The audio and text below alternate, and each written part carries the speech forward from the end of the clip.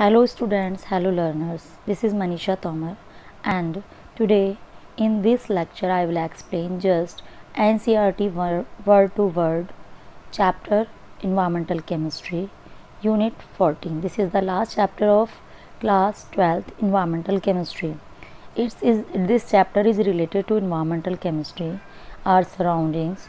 What do you mean by environment? Environment means our surrounding. So today we will study about our health, our, about our, our environmental health and our surrounding and thinking about our future generation. So first of all we will start from the NCERT's quotation regarding environment. The world has achieved brilliance without wisdom, power without conscience. Ours, ours is a world of nuclear giants and ethical infants. It is a very truth in modern time. आज का world सिर्फ़ wisdom के पीछे भाग रहा है without brilliance सिर्फ़ power को देख रहा है कौन साइंस की न्यूक्लियर जाइंट्स के साथ एथिकल इन्फेंट्स हो रहे हैं सो so, और नेचर कहता है environment is the nature that says us if you protect us I will protect us. If you destroy me, I will destroy you. So in nowadays we are seeing all these things due to changes in environment. So let's start. First, what are the objectives of this chapter? After studying this unit, you will be able to understand the meaning of environmental chemistry, Def define atmospheric pollution, list reasons for global warming, greenhouse effect and acid rain.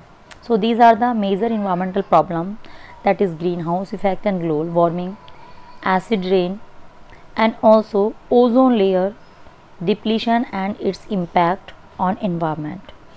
Give reasons for water pollution and know about international standard for drinking water.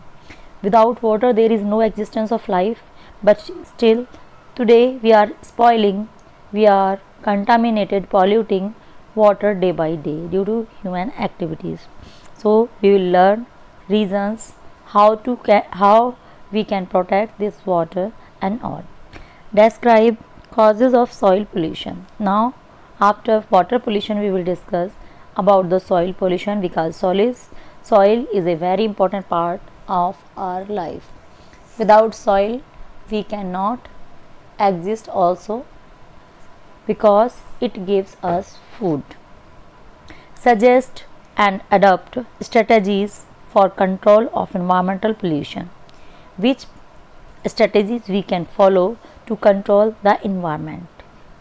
Next, appreciate the importance of green chemistry in day to day life. Nowadays, after seeing lots of problems in environment, nowadays there is involvement of green chemistry which is helpful to protect environment. So let's start all these objectives with the help of these objectives explanation of the chapter. What NCERT has written first of all definition of environmental studies. My dear students, my dear learner, environmental is not a, a particular subject. It is a combination sum of all social economical biological physical and chemical interrelations with our surroundings. In this subject this is the subject in which we study about social science economical science biological science physical chemistry and medical and all branches so this is a particular study of our surrounding in all aspects. In this unit, the focus will be on environmental chemistry.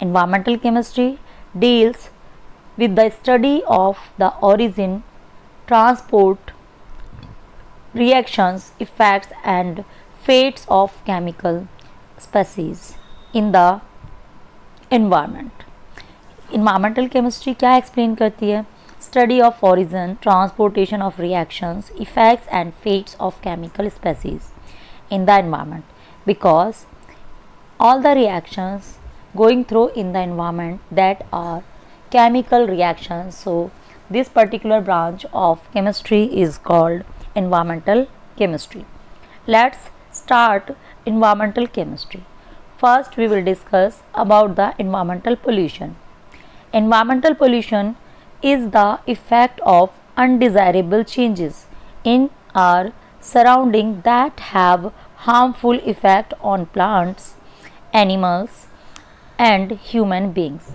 क्या है environmental pollution environmental pollution होता है environment में undesirable changes addition और mixing of harmful undesirable substances in environment. Environment means air water soil. In these if unnecessary unwanted harmful substances are mixed. That condition is called environmental pollution. That surroundings are harmful for plants, animals and human as well. A substance which causes environmental pollution is known as environmental pollutants. Pollutants can be solid, liquid or gaseous substance present in greater concentration than in natural abundance and are produced due to the human activities or due to the natural happenings. For example, we are using different transportation where we are using different fossil fuels like coal, petroleum, combustion of wood also. All these creates pollution in environment because they contains sulfur, nitrogen, carbon and when they combust in our transportation means and in our industries they remove oxides of nitrogen oxygen, nitrogen, carbon and sulfur. So these are the human activities. In case of natural activities, there are lots of storms, earthquakes, which volcanic eruptions by which lots of gases, particulates released that cause environmental pollution. Environmental pollutants may be solid that like particle, dust particles, smoke, liquids or gases. Now, do you know an average human being requires nearly 12 to 15 times more air than the food because without air we cannot exist. Air is a very essential substance to existence in of life either they are animals, plants or microorganisms. So, we can survive without food one day two day or three days but without air we cannot survive for two minutes so even a small amount of pollutants in the air become significant compared to similar labels present in the food. Condition is this. Every time we are taking in each and every second we are taking air. If air contains any single pollutant that will be enter in our body. And that creates lots lots of problems as compared to food pollutants can be degradable like discarded vegetables which rapidly break down by natural process. On the basis of degradation we can classify pollutants in two categories biodegradable pollutants and non biodegradable pollutants. Biodegradable pollutants are those which can be decomposed by biological factors in the earth. By the natural process like food waste, discarded vegetables, fruits, food materials. On other hand, pollutants which are slowly degradable remains in environment in an unchanged form for many decades like DDT, dichloro, diphenyl, trichloroethane. This is a very dangerous carcinogenic pesticide. We are using this in different agricultural activities for killing the insects but this is a biodegradable non biodegradable pollutants and it can exist in environment for many decades. Plastic materials, heavy metals, many chemicals, nuclear waste. These are all non-biodegradable polymers, pollutants. They can exist in environment if they contaminated.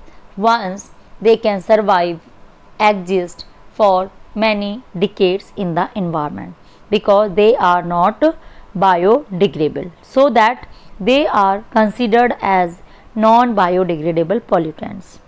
Heavy metals heavy metals many nuclear waste etc. Once released in the environment are difficult to remove these these pollutants can't be degraded by natural process and are harmful to living organism.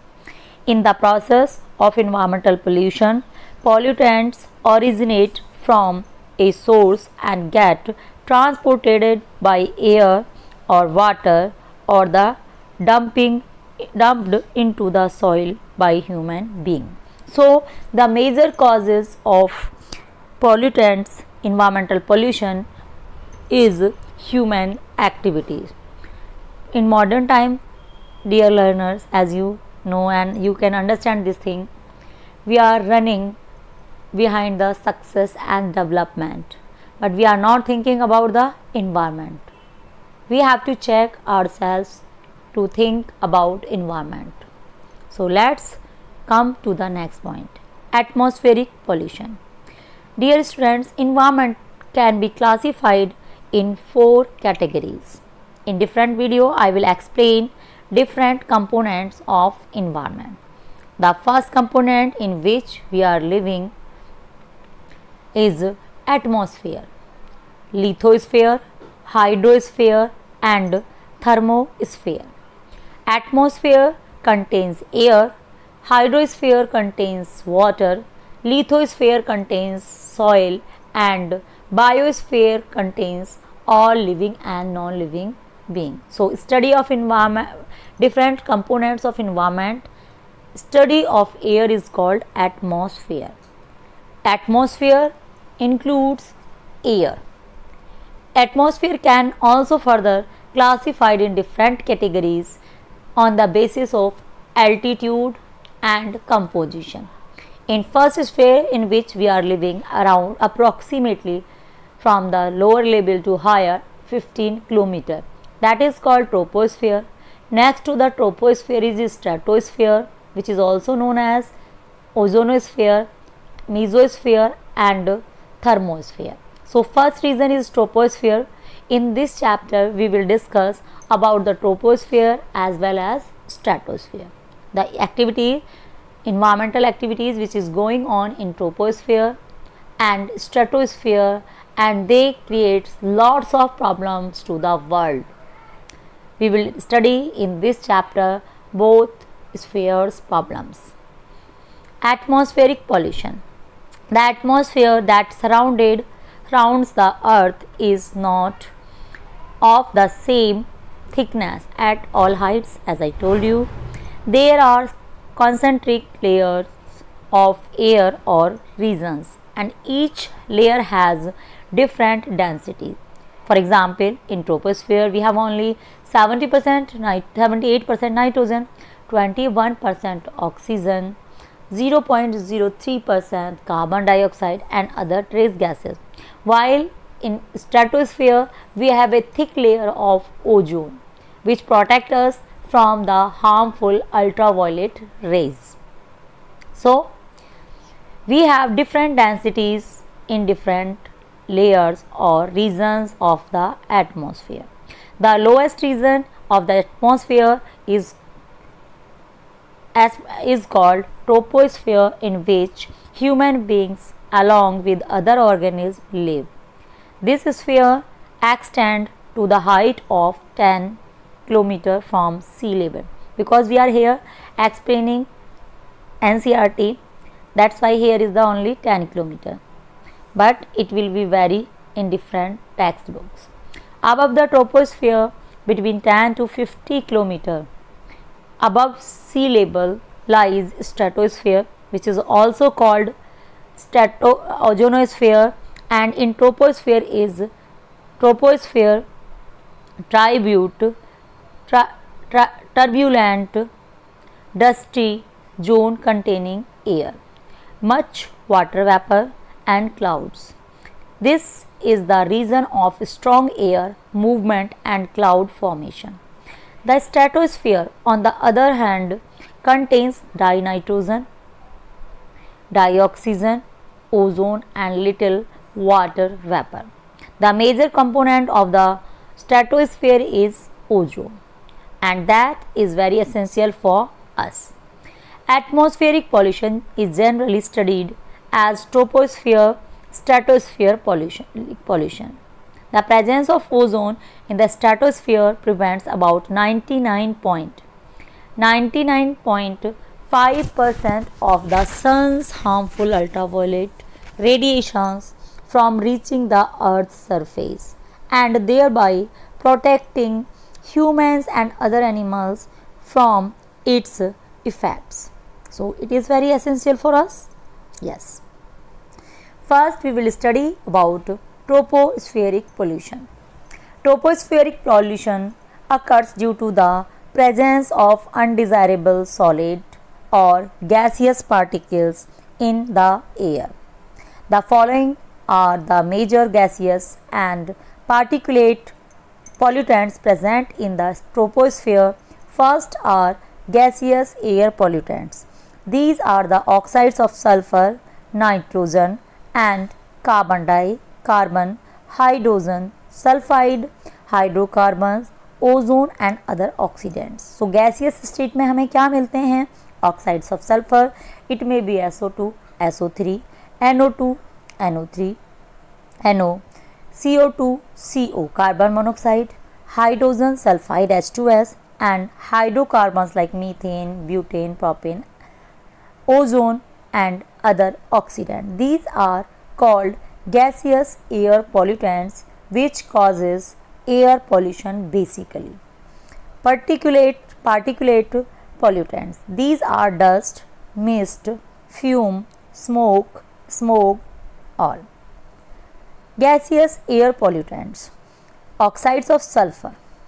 Oxides of sulfur are produced when sulfur containing fossil fuels is burnt. The most common species species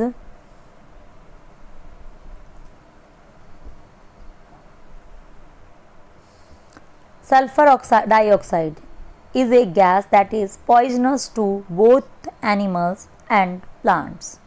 It has been reported that even a low concentration of sulfur dioxide causes respiratory diseases like asthma, bronchitis, emphysema in human beings.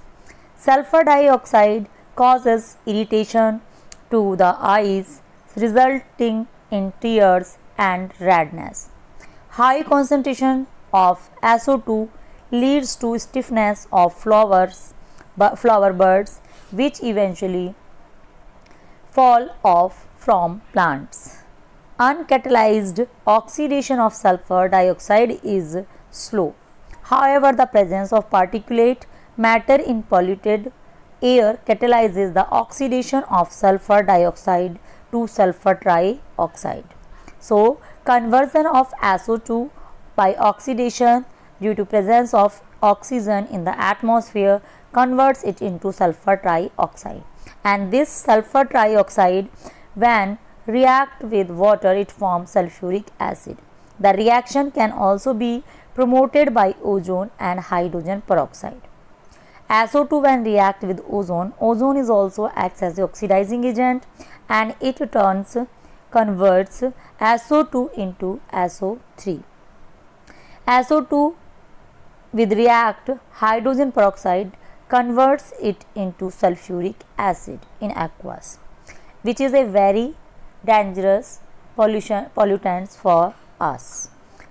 Oxides of nitrogen. Dinitrogen and dioxygen are the main constituents of air. These gases do not react with each other at a normal temperature. At high altitude, when lightning strikes, they combine to form oxides of nitrogen. So, is it clear to all? Dinitrogen and 2 is a gas. Normal temperature पर ये reactive नहीं होती है otherwise this will be create problem for us because it is 78% in the atmosphere lower atmosphere but at the high altitude when sunlight strikes more it oxidized into NO2 or NO3 negative which is washed into soil where it serves as a fertilizers. Dear students, dear learners, as we know that we have plant fertilizers also like human fertilizers, human nutrients like uh, fats, protein. Plant fertilizer plants also needs nutrients. These nutrients are called fertilizers like NPK, nitrates, phosphates and potassium. These are the major fertilizers for plants which helps to growth, nitrogen fixation and all other activities to the plant. NO2 is oxidized to nitrate ions which is washed into soil where it serves as a fertilizer. In an automobile engine at high temperature when fossil fuel is burnt, dinitrogen and dioxygen combine to yield significant quantities of nitric oxide NO and nitrogen dioxide and when they combine like here is the reaction around 14883 Kelvin temperature. NO react instantly with oxygen and convert it into nitrogen dioxide. The rate of production of NO2 is faster when nitric acid oxide reacts with ozone in the atmosphere. So, in atmosphere in upper region of the atmosphere NO react with ozone and form nitrogen dioxide. The irritant red haze in the traffic and congested places is due to oxides of nitrogen. Higher concentrations of NO2 damaged damage the leaves of plants and retarded the rate of photosynthesis. Nitrogen dioxide is a lung irritant that can lead to an acute respiratory disease in children. It is toxic to living tissues also. Nitrogen oxide, dioxide is also harmful to various textile fibers and materials. Hydrocarbons. Second type of pollutants is hydrocarbon. Hydrocarbons are composed of hydrogen and carbon only and are formed by the incomplete combustion of fuels used in automobiles. Hydrocarbons are carcinogenic in nature. Carcinogenic means cancer causing agents. They cause cancer. They harm plants by causing aging, breakdown of tissues and shedding of leaves, flowers and twigs.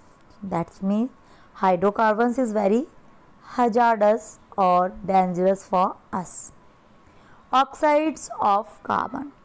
Carbon gives two oxides, carbon dioxide and carbon monoxide. Carbon monoxide is a danger harmful, serious air pollutant. It is a colorless and odorless gas highly poisonous to living being because of its ability to block delivery of oxygen to organ to the organs and tissues. It is produced as a result of incomplete combustion of carbon. So dear students, carbon monoxide is a very dangerous gas very poisonous gas and it is released by the incomplete combustion of fossil fuels. अगर incomplete combustion होता है इन deficiency of oxygen तो वहाँ से carbon monoxide release होती है। When this carbon monoxide enters in our body this carbon dioxide block the delivery और transportation of oxygen in our body in it, it stops the transportation of oxygen to each and every organ cell and tissue so that it creates lots of problem even death. Carbon monoxide is mainly released into the air by automobile exhaust. Other sources which are produced co involve incomplete combustion of coal firewood petrol and all. The number of vehicles has been increasing over the over years all over the world. Many vehicles are poorly maintained and several have inadequate pollution control equipments resulting in the release of greater amount of carbon monoxide and other polluting gases. Do you know why carbon monoxide is poisonous? Yeah. It binds to hemoglobin to form carboxyhemoglobin which is about 300 times more stable than oxyhemoglobin complex. In blood when the concentration of carboxyhemoglobin reaches about 3 to 4 percent, the oxygen carrying capacity of blood is greatly reduced. This oxygen deficiency results into headache, weak eyesight, nervousness and cardiovascular disorders. This is the reason why people are advised not to smoke in pregnant women who have the habit of smoking the increased CO यानी कि carbon monoxide level in blood may induce premature birth, spontaneous abortions, and deformed babies. Next, carbon dioxide because we have two pollutants, two oxides of carbon. One is the carbon monoxide, which is a poisonous gas. Carbon dioxide is released into atmosphere by respiration, burning of fossil fuels for energy and by decomposition of limestone, burning the manufacturing of cement. It is also emitted during volcanic eruptions. Carbon dioxide gas is confined to atmosphere only. Normally, it forms about 0.03% by volume of the atmosphere because this is a greenhouse gas. As we know that it is a greenhouse gas. Atmo with the increased use of fossil fuels, a large amount of carbon dioxide gets released into the atmosphere. Excess CO2 in the air is removed by green plants and this maintains an appropriate level of CO2 in the atmosphere. But nowadays we are doing continuously deforestation. So we are creating lots of problem this. Green plants require CO2 for photosynthesis and they in turn emit oxygen, thus maintaining the delicate balance. As you know, deforestation and burning of fossil fuels increases the CO2 level and distribute dis disturb the balance in the atmosphere. The increased amount of CO2 in the atmosphere in the air is mainly responsible for global warming. So my dear students in this part I have discussed about the environment from the NCERT book explanation and in next part we will just discuss other points of the NCERT like global warming and greenhouse effect, ozone layer depletion, acid rain. If you like this video, comment, share and like. If you didn't subscribe my channel, kindly subscribe my channel. If you not, don't like this video, you just comment or click on that dis dislike button. Thank you. Thank you so much to watching this video.